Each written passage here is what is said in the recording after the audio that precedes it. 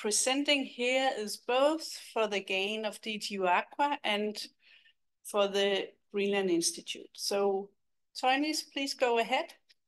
Thank you very much, Karen. Um, yeah.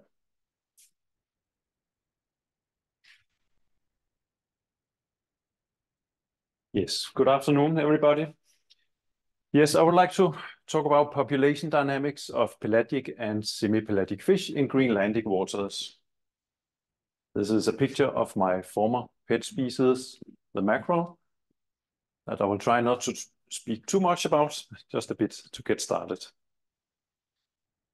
Now, my position is a shared uh, position between uh, DTU Aqua and the Greenlandic Institute for Natural Resources. Um, so my first and foremost task is to facilitate collaboration between these uh, institutes within the research fields, population dynamics, and assessment of the status and future development of fish stocks in Greenlandic waters, advising on the management of marine living resources through sustainable fisheries. I'm quite happy and proud to contribute to this because it's an important area for for Greenland. 99% of Greenland's exports are from fisheries, Uh, and the conservation and biodiversity perspectives are important and also following the climate impacts. My science revolves around uh, three main points. Uh, firstly, research in ecology and behavior of fish populations in Greenlandic waters. Secondly, facilitate and drive development and implementation of state-of-the-art technical and analytical methods. And thirdly, quantitative studies of climate change and other drivers of change in distribution and productivity of fish. Now, you could say that uh, the main area here that's uh, quite applied uh, is basically about counting fish and giving management advice. So why not just focus on on item number two here? Why have, for instance, the first one, which is much more basic, fundamental research on ecology and behavior of fish, and I'll give just uh, one example of of uh, why that in one of the many cases where it's really important to have that that understanding of of the fish. I'd just like to hear, how is the sound? Is it okay? Very good. So, um, we start out with the North Sea mackerel. That was actually my Uh, PhD project. Uh, Henrik Gislason, my supervisor, is here. Um, and, um, well, the North Sea mackerel was thought to be a special separate mackerel stock component. It was overfished uh, from from a very large, supporting a very large fishery and a very stock, large stock in North Sea. Then it was overfished and collapsed.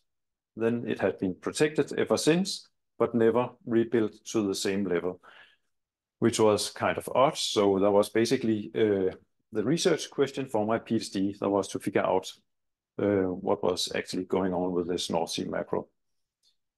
Um, and I reviewed uh, all the old literature, reanalyzed the data, and and also dug up new old data, looked at cohort signals, growth patterns in survey and catch data, Øh, new larvae data, and øh, the existing egg data øh, for for for for the spawning patterns, looked at natural tags, genetics, and um, quite a lot on migration behavior as a function of environmental viability. Um, and based on that, I realized that it was actually not a separate stock. Uh, it was a part of the entire Northeast Atlantic mackerel, which is something pretty close to panmictic. Um, but still there's a bit of structure, but uh, in general, it's uh, it's a very migratory stock that follows uh, the environment to a large extent, and that had changed. So in the light of that uh, changed uh, view on the on the on the Northeast East Atlantic mackerel, um, all the old data actually gave much more sense. Uh, so I could kind of rewrite the history of the Northeast North Sea mackerel So it was not a stock that collapsed. It was merely a change in distribution of a spatially highly dynamic species. And that is what we have seen again in Greenland in the most recent years. So um, you can say I actually more or less followed the mackerel to Greenland.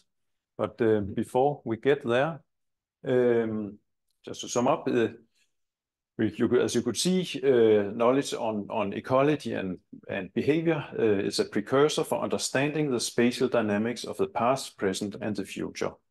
So important for our management at the very end.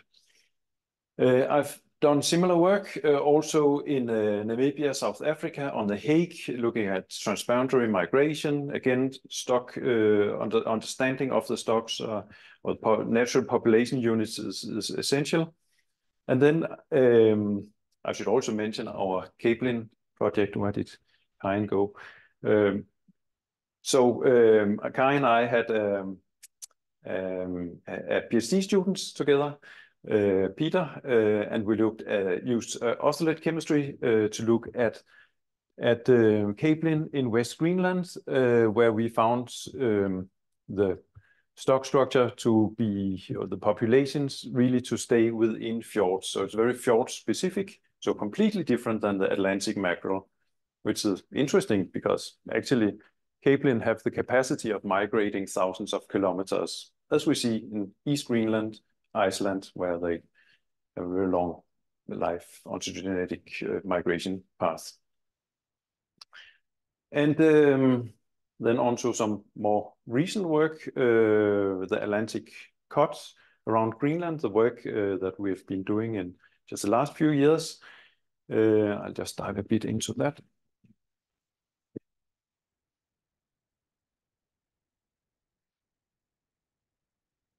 So cod was uh, around Greenland was originally assessed as one stock, but uh, genetically it was it was shown that they uh, fall into three quite distinct groups that have been separate for for thousands of years, and they correspond to these main spawning areas. So the assessment was broken into these three stocks um, for, yeah, five, eight years ago. Um, And and all the data were then a bit simplistic, broken up into areas like like this. That's the three stocks, uh, and the data didn't fit that well. Um, so what we know is that that they actually mix quite a lot, and that is the main problem here. Um, so as you you can see the difference between the former way of, of splitting the data quite roughly, and these are yeah more than 10,000 genetic assignments just in West Greenland plus East. Uh, so within just a single school uh, or catch, uh, we find all three genetic um, types spawning stocks. So what to do? Um, well, yeah, so to further complicate things, the inshore spawning stock tagging has shown that they don't really migrate between the fjords.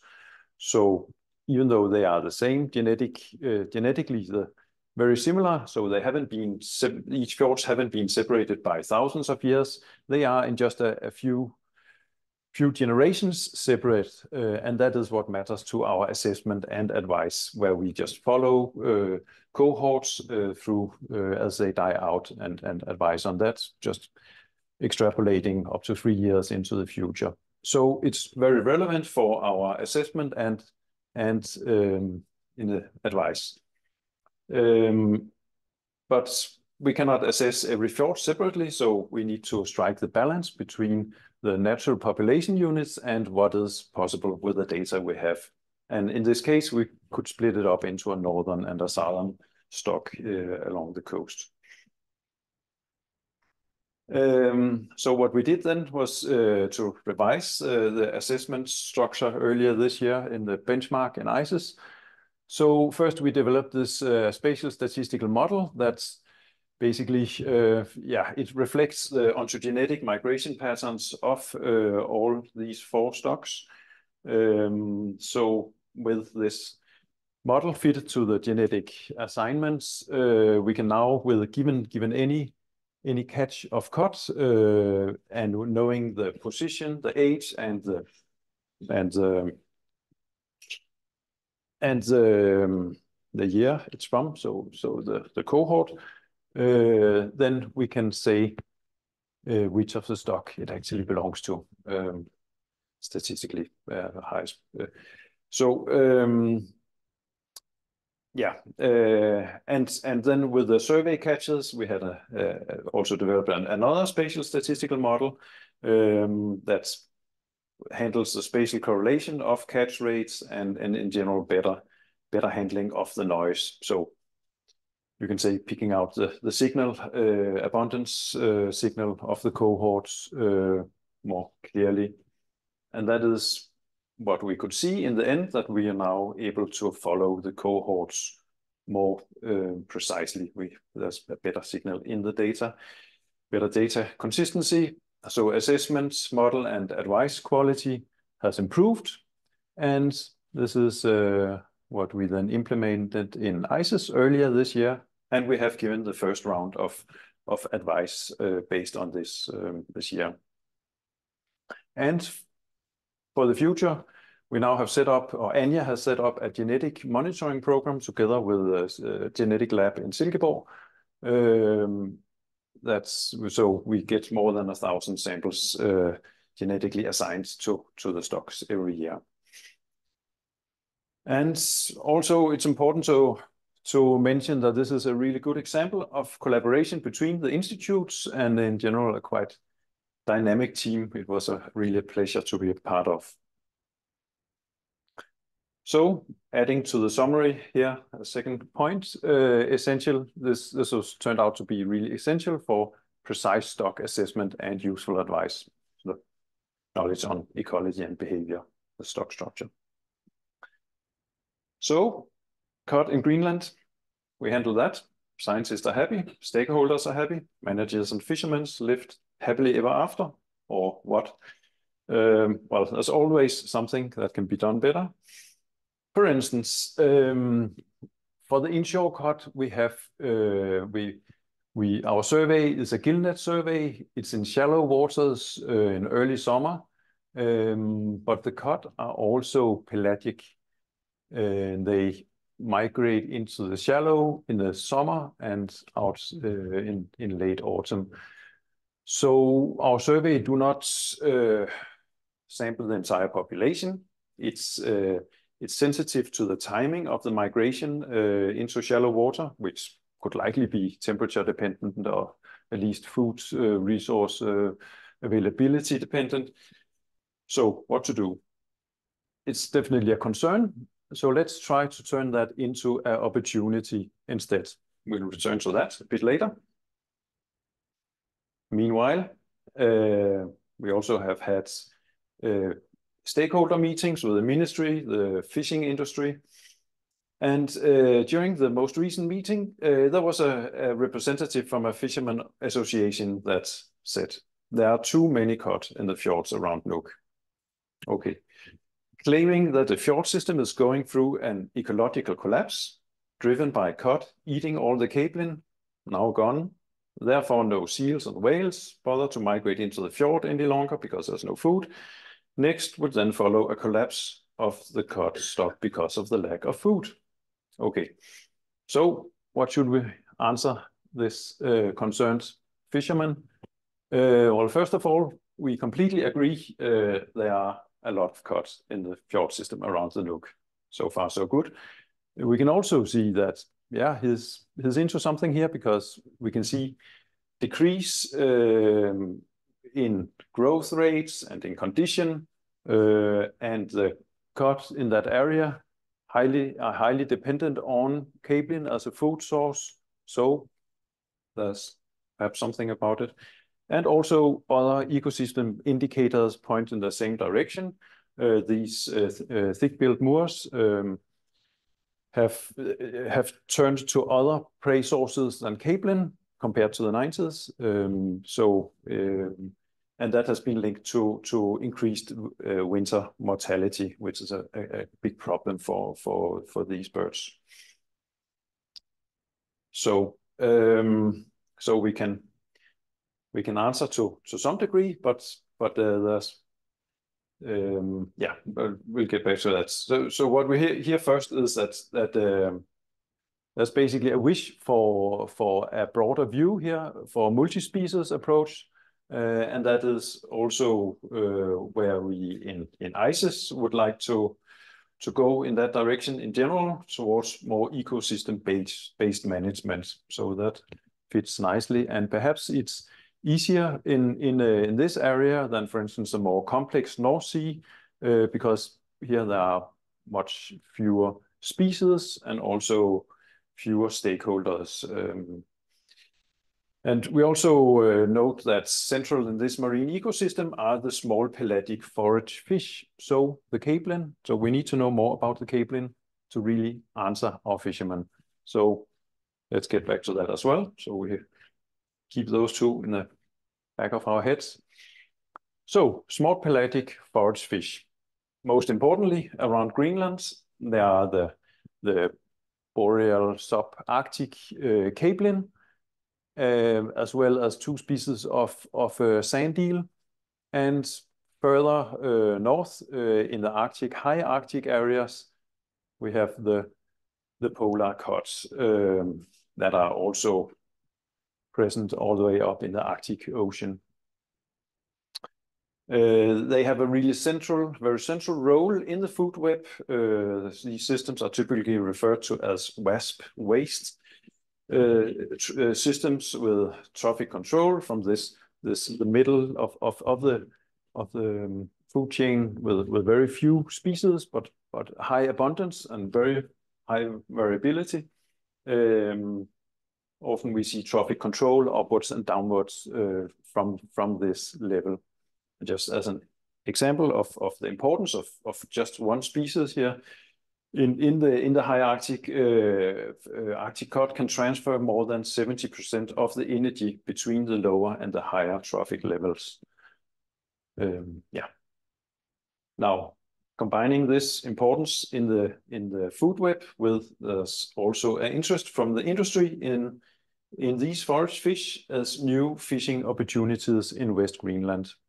It's only in East Greenland there's a capelin fishery. In West Greenland there's no large fishery, at least yet. But several times we've been contacted by various uh, stakeholders in, in the in the industry combining that with uh, a large knowledge gap in general around these species uh, around Greenland, and until recently, no monitoring or assessment practice, uh, and therefore no no possibilities for giving advice, uh, then I think we have something we need to address. So for these reasons, I find it important to set up monitoring and develop assessment methods before a fishery starts and before climate is changing. Well, it is already, but let's get started. Um, and fortunately, we are working on that and already uh, some surveys uh, are ongoing. So about 10 years ago, we started the, mackerel survey in East Greenland.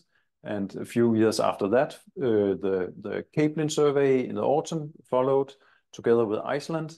We are now covering this area, as you can see. Um, now we're using Darnok, Tarajoq, new vessel uh, from the Greenlandic Institute. So uh, we map these keystone species distribution and migration patterns, providing many different more fundamental information on, on their biology. And also uh, we directly assess the size of the stock, and that leads directly into advice.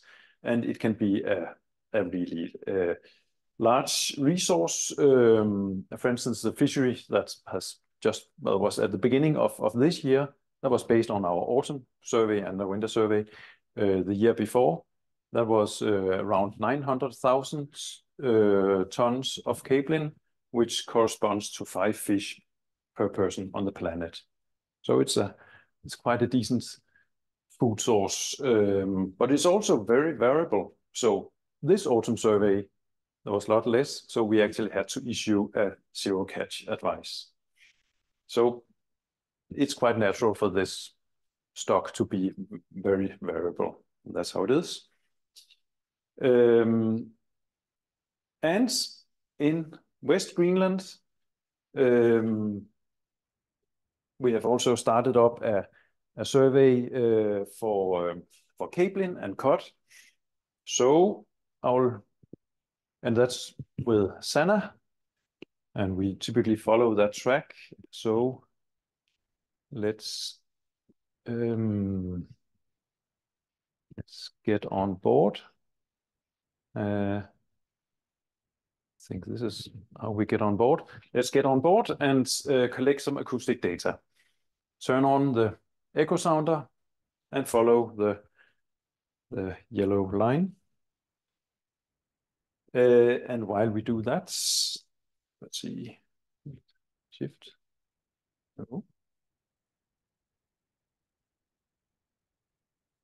Hmm. Yeah, okay, how's that?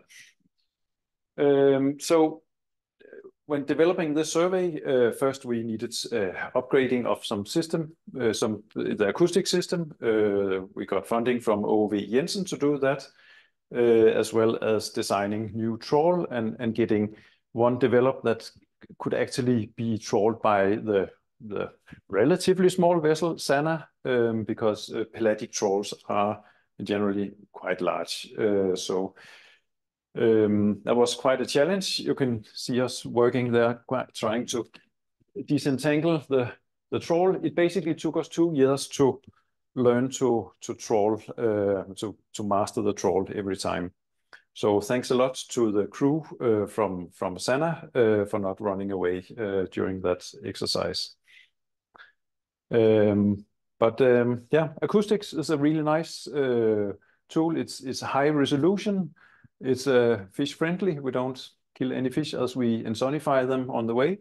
And uh, as you can see here, we can we can cover the second largest fjord in the world uh, in just a matter of a few days.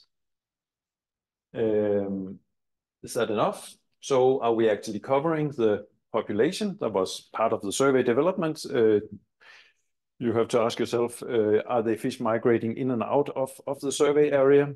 But we know from, the otolith um, project with Karin and Peter that this is actually a confined population. So check, all is good. We started out surveying day and night to cover the fjord as soon as fast as possible.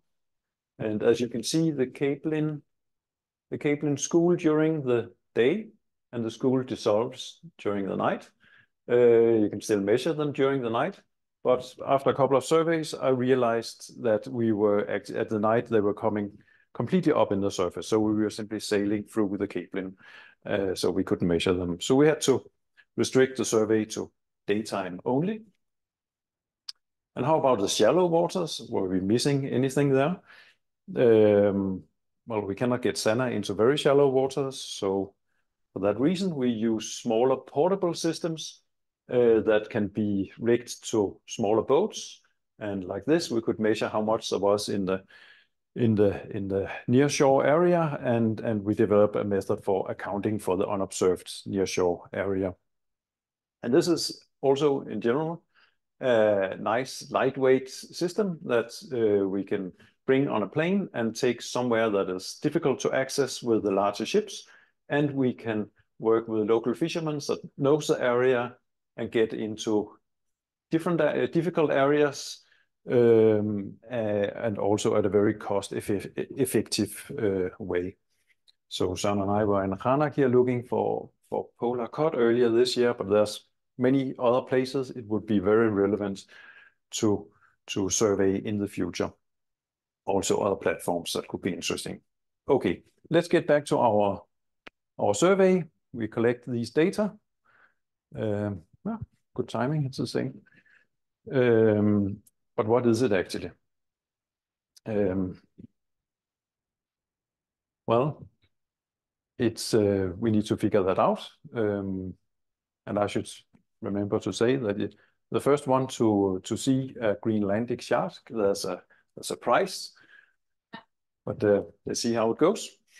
Uh, so how do we find out what what it actually is? Um, well, first of all, we can we can use the the, backscattering properties of the targets. Um, so for for different frequencies, different organisms uh, gives us different echoes. So so for instance, a krill has a very different profile compared to a swim bladdered fish that has this resonance peak where the wavelength uh, equal the size of the swim bladder. Um, yeah, so there are some tricks there. And on top of that, we also need to uh, to um, to conduct ground truthing. So we simply simply sometimes just to use line fishing or or drop uh, um, uh, cameras remotely operated or on a fishing line. But most of the time we do pelagic trawling. So let's try to trawl on these schools near the surface to figure out what it actually is. So in goes the trawl. We look at the echo sounder, which steps do we want to, to, to fish in, and we monitor the trawl uh, with the trawl sensor. So we can see how deep it goes. We can adjust the speed of the, the vessel to match it, and we start to we, we monitor the trawl eye, which is an echo sounder, which is in the trawl opening, and we can then see some of these schools are actually coming into the trawl now. And after a while, we are happy with we think we have our sample. We hold it up. Here comes the ends. And yes, we have a sample. And it turned out to be capelin. So somewhat transparent capelin, probably around one year old. Then we'll length measure, take a subsample sample and length measure them. So we now know what's in the surface. And similarly, we know, okay, it was cut deeper to the closer to the bottom. Uh, so we can move on and and actually estimate the amount of fish. Um, it can be done already at sea, so we can have a stock estimate ready when we come ashore. Um, we apply echo integration. So with a post-processing software, we can integrate, you can say, the amount of returned uh, echo sound energy that we receive back at the at the transducer facing conceptually. Uh, and it is, in fact, uh, quite simple. Then the total amount of energy that we that we receive divided by the expected echo uh, strength of a single individual. That is the number of fish. TS, the target strength, that comes from the from the swim bladder of of here the capelin, and the larger the capelin, the larger the swim bladder, and the stronger echo it will provide. So therefore, that's the equation. Therefore, it's nice that we have the length distribution from our catch. So now we can actually estimate the number of fish that we are passing uh, over with our vessel. Um, so, I mean, does it this sound a bit fishy or, or too easy? Well, at least I thought uh, when I I, um, I had my my first acoustic course 20 years ago. Uh, so I thought there must be some way of sanity checking this. And we have a swim bladder as well. So I got in the water down below the vessel, uh, got insonified and collected data back on the ship. I could calculate my own target strength and uh, minus 11.4 dB. But that can also be expressed uh, as an area of where, where all the sound is reflected. Uh, and that area nicely corresponded to the cross section of my lungs. So target strength makes sense. I think it was nice to know. So now we are confident with the methods. we can move on and look at the results. Uh, these are just some results from the first years of, of, uh, of surveying. We've been out twice in, in the warm, warmest part of the, of the year and three times in the, in the cold part. And it's quite consistent that we see all the capelin close to the fjord mouth in the in the summer season and deeper in the fjords uh, in the in the winter. How they're getting close to the spawning season, so that's also part of the reason. But there are more than that. Also, so we start to learn some completely new things about these stocks uh, that is relevant for, for management. Also, if the fishery uh, needs to start, we need to know how many there are simply. Uh, and we need to answer our fishermen that is very concerned about all the capelin are gone. and in fact, we could calculate that there was around 20,000 tons of capelin pretty close to that uh, in every survey. So it seems quite stable, at least since 2018. So we had an answer for him. Um, but go looking further back, uh, it's definitely different than it was in the 90s, but that's that's another story for another day. Uh, but there was also um, the issue we had with the with the cod, the cod survey. Uh, so why not um, also estimate the cod with acoustics? I mean, we could integrate them, but when you look at the echogram, you can see we can, we could basically on many of the cod we can see individuals. So why not just count them? Wouldn't that be wonderful? But sometimes they are very close together, and there's aggregation here, a school, or close to the bottom, then we're not really able to separate them. So what to do? Well, this then comes down to range resolution to be able to distinct, distinguish them. And um, so what, what is actually our range resolution? In our typical system uh, with a narrow band, uh, 38 kilohertz, um, we have a sound pulse that travels down through the water column, hits one fish, another fish that is pretty close by. We get two echoes back, and they come back to the transducer, um, and they basically merge. We cannot distinguish, distinguish those two. Uh, so how far do they really need to be apart? If they are exactly half a pulse length apart, well, then they return to us just one after the other. So they have to be just slightly further apart than half a pulse length.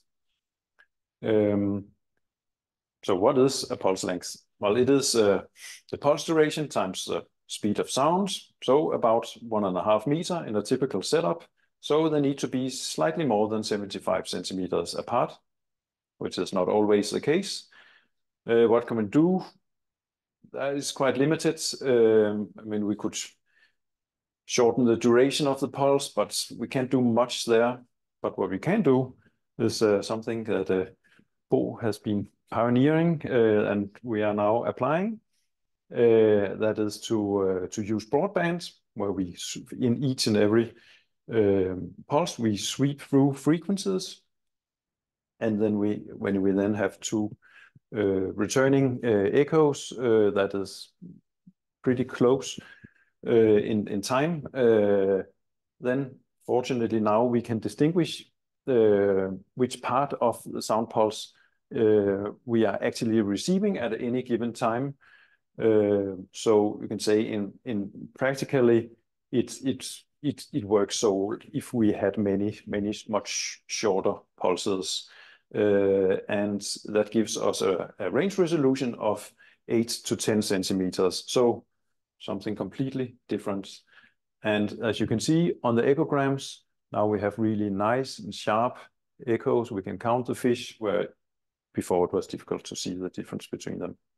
And these are then real uh, broadband uh, uh, echo data from of cod uh, from the fjord system around Nuuk, uh, and we can start counting them. It's very good, but there are millions, so we'll probably get tired of that. But luckily, we have clever engineers here at DTU, such as Fletcher, when he did his postdoc, um, uh, developed uh, some image recognition software uh, using neural network. Uh, that is uh, one way of addressing this. Um, and there are also a couple of other similar automated methods that we can use to, to work up our data. Now, to the, the next step to set up the cod acoustics was Uh, James, uh, my former PhD student, was uh, very important in that work. Together, we we uh, we uh, ran a series of field tests to set up the optimal configuration for broadband for the cod around Greenland, and also he um, he compared the various calculation methods through simulation, used simulation software and real data cases, found out that some of the more classic calculations uh, in the literature were actually biased. Um, and then uh, in his PhD thesis uh, recommended this um, yeah, combined methods of echo counting and echo integration. What we can also do is to go in the winter at night. Um, That's when the cod is as dispersed as possible, and they are away from the shallow water. So the right timing to do this. So that's back to our point A. Now, it's actually an opportunity with all these pelagic cod. It's a nice way of of, of conducting a a survey. So the next step here is, uh, Sanna will be dry docked in February, so we'll be replacing the transducers to fit the the optimal configuration. Uh, in March, we'll do the first survey uh, of of this type, uh, and then it will be really exciting to compare with the existing assessment, um, see what we get. Just as a fun fact, you can see this school that we school of cod that we passed in in February, a bit north of Nuuk, um, where we could just integrate that, and we did, and calculated. That school contains the same amount of cod as there currently are in Kattegat. Oops, in Kattegat. So that tells us something about um, uh, yeah, the state of Kattegat, but uh, but also um, the state of of cod in around Nuuk. Uh, while there's many reasons for the state in Kattegat, I mean, they they do share one parameter here, that's increasing temperature, which general, is a problem for the southernmost stocks and an advantage for the northernmost stocks of of uh, cod, um, which is then a lead to the last part here. Uh, but just to sum up, uh, part two here, small pelagic fish are essential for ecosystem functioning. New surveys have been developed to monitor the status and to provide a deeper understanding of the ecology and behavior of pelagic and semi-pelagic fish in Greenland. And education projects of young scientists have been central in the work uh, on acoustic technology. So for distribution of fish, well, we have been conducting the greatest experiment of all times, um, heating up the entire planet, just to test if fish would be moving uh, towards the poles. Um, it's going really well with this experiment. Uh, it's a new record in the CO2 emission and also in in the mean temperature. Uh, and also the sea ice cover is decreasing in extent and thickness, and the ice-covered season is shortening. So we have everything in place for the experiment, and then through the last year, uh, 10 years, uh, we've been looking through uh, several cases. Um, the first we've seen moving towards the poles or towards classically colder areas are the epipelagic species, highly migratory, for instance, mackerel and the capelin, but um, also a range of other species, some of them also deeper living, as well as other trophic uh, levels. So definitely successful experiments. What about the other side of the coin? We have this borealization of warmer water species coming up, but wouldn't then, couldn't we expect some some cold, high Arctic species to to be uh, retracting? So just uh, when the very recently, we looked at at a very good example for this. That's the before-mentioned uh, polar cod, uh, the high Arctic species uh, that is ice-associated in its early life stages. And it is the most abundant fish in our demersal trawl surveys up here in the in the northwest. And is highly important for a range of predators, as I mentioned before. And indeed, uh, we have seen uh, a substantial decrease in abundance, uh, and that decrease has been most prominent in the southern part of its main distribution area. So it seems like it is retracting towards the north. So what can we expect to see in the future? Yeah, more of the same, I would think. Um, and also likely uh, polar cod becoming much more um, uh, abundant in in the Arctic Ocean as as uh, ice uh, uh, is disappearing and and open water is is changing the the the the production regime completely. Uh, of course, there are many other factors driving distribution than just temperature, but uh, that is really an extremely important parameter. Also, we can expect uh, to pass some tipping points, and when we when it comes to distribution, I would just like to mention one that is as uh, the water mass north of uh, um, Canada is warming up, it might open up for the passage of some Pacific species, and that's the thing with tipping points. Once you get past it, there's no going back. So once we get Pacific species into the Atlantic, uh, there'll likely be, it's difficult to know, but there'll be competition, there'll be predation. They might bring parasites and diseases. Um, that's not reversible like some of the other movements here. That was basically the last part, and then the I'll end up with uh, this last keyword here here um, in the description of of my professorship, productivity. Just one example of of that. That's something we'll be looking much more at uh, in, in the coming years. One example uh, that's uh, upwelling around ice, uh, for instance, in the fjords, uh, these marine terminating glaciers, as nicely described. This is not my paper, this is Lawrence, John, and others um, this upwelling that drives productivity uh, all the way through summer instead of just the, spring bloom. Um, so really important in the fjords. To know how the productivity of, of uh, small pelagic forage fish relates to such mechanisms uh, as this, then it's not sufficient with our ship-based surveys because that gives us snapshot overview in a in a short time. Um, that is nice, but we also need to know over that we need to understand the temporal um, developments, so the temporal aspect. And to address that, um, we have uh, set out moored echo sounders on the bottom of the fjord, facing upwards, pinging every hour, every day. Uh, so, and we have already got 10, uh, five of those up um, with data from an entire year.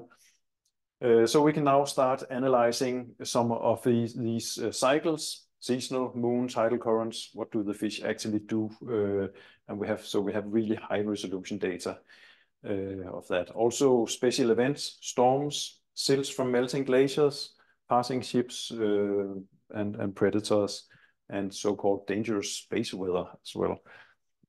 Um, and what happens under the ice and near glaciers where we have the upwelling and, and at a distance to the glaciers. And it is interesting what happens under the ice. There's definitely capelin under the ice. We can see that now. We are missing them with our ship-based surveys, and we can see what they're actually doing during the winter under the ice. So who knows what we'll find in these data?